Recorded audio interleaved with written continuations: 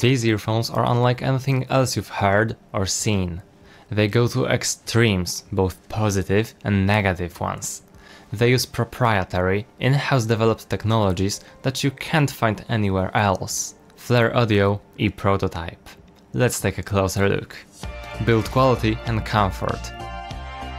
They come with a thin, rubbery cable that doesn't feel very premium, but at least it doesn't tangle up so easily, like some aftermarket IEM cables I have tried in the past. It ends with a single-ended 3.5mm slim plastic connector. There is no way to use them balanced, and for worse, the cable is non-detachable. It's just a cable, and what's good about it is that it is pretty lightweight and seems durable enough. Plus, on the website, they said that they stress tested it. Enough about it. Please leave a like to support the video and let's move to the actual earpiece build quality, as it's interesting to say the very least.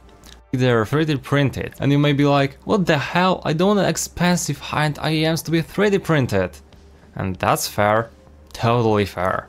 Flare Audio has a model that is both cheaper and fully made out of metal, if you care about it. But this is a prototype, a proof of concept made to show off what their technology is capable and to support further research and development. Moreover, as you can imagine, it's not printed with a standard cheapo filament on a regular 3D printer. They use professional grade equipment and materials to produce them. The final result is a decently rigid filling capsule with a smooth texture and no roughness that is usually associated with 3D printing. As a bonus, they are lightweight unlike their full metal brother, and if it's important to you, they're not made in China. They produce them in their headquarters in the United Kingdom. Their shape is the weirdest I have ever seen. And that's for a reason. They researched the internal shape of our ears and its effect on the distortion. The effect of our ears on the frequency response is common knowledge at this point really, but they wanted to go further, exploring the distortion produced by the human ear shape, and realized that our ears can distort the sound by as much as 20%. That's why they developed their mirror image sound technology. So their shape is weird to overcome the issues inside our ears. At least that's what they say. Is it even comfortable though? I didn't experience any major comfort related issues while using them, but due to their shape being somewhat unusual, it may vary from person to person. As my ears are internally slightly asymmetrical, I faced one problem. I had to position the left earpiece in a very specific range of depth and angle. Otherwise, the sound would be greatly attenuated in the ear, which is something I have yet to encounter with other in-ear monitors. Nevertheless, once I got the fit right, I could use them for extended periods without any significant discomfort. What you get in a box is a pack of replacement tips in different sizes and a hard carrying case. It has some stealth Flare branding and feels very solid. I would absolutely trust it to protect my portable audio gear. It should fit some tiny dongle beside your earphones. But if you need something bigger, Flare Audio offers a large hard carrying case that is rectangular, feels even better than the tiny model due to its softer internal finish and is very affordable. It should fit around 2 to 3 pairs of IEMs with no issue. If you're lucky, a dongle or two tiny ones are also very likely to make it inside at the same time. It's just perfect for traveling. They are tuned in a very very specific way. You will either love it or hate it. I definitely would not recommend buying it as your only IEM with this kind of tuning.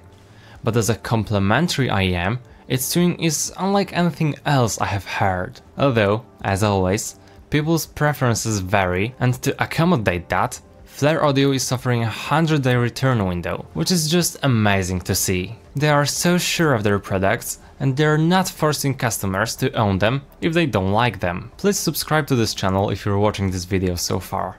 And let's start with the bass. The e-prototypes have, in a way, the best low end out of any IEM or even headphones I have ever tried. There is a lot of bass and it's keeping its integrity very well. The bass is extremely good layered, resolving and so punchy no matter the source I paired it with. I think these earphones must have met the HiFiMAN HER9 at some point and took some inspiration from their duality and bipolarity. But they have taken it even further by pushing the extremes of both the positive and negative sides. Either way, the bass is definitely on the good side. If I were to pick one single thing that the Flare Audio E prototypes do well, way above its league, it would be the bass region. It hits hard, doesn't fall apart even despite its amount, and extends extraordinarily low, with some audible roll-off occurring in the 20 some Hz region. The mids don't fit my preferences very well.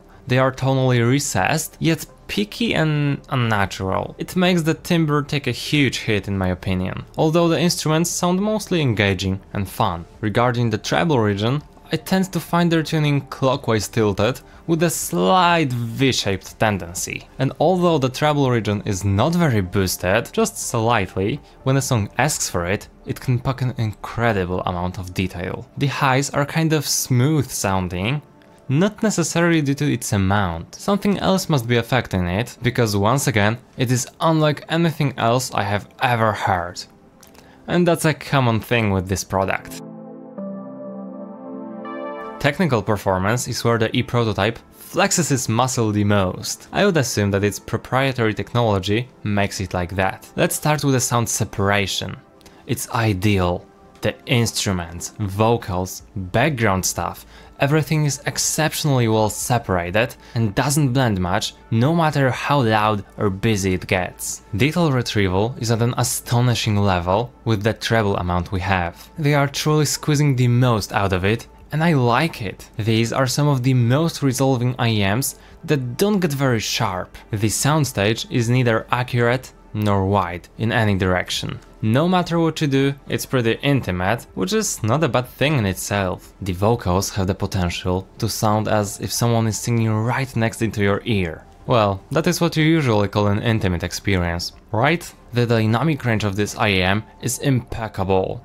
It can hit, punch extremely hard. It tends to be rather a point of impact than a slam wall. It sounds very fast, yet slow. Let me explain. The punch is there, but there is something that comes right after the punch. A super long, detailed, and satisfying delay that is just impossible not to notice. Timbre. It's not the biggest selling point of this product. Well, it's not a selling point at all. The E-prototypes tend to make things sound off, or slightly plasticky, likely because of the shell's material. It's not terrible, but if you're a timbre chaser, stay away from these.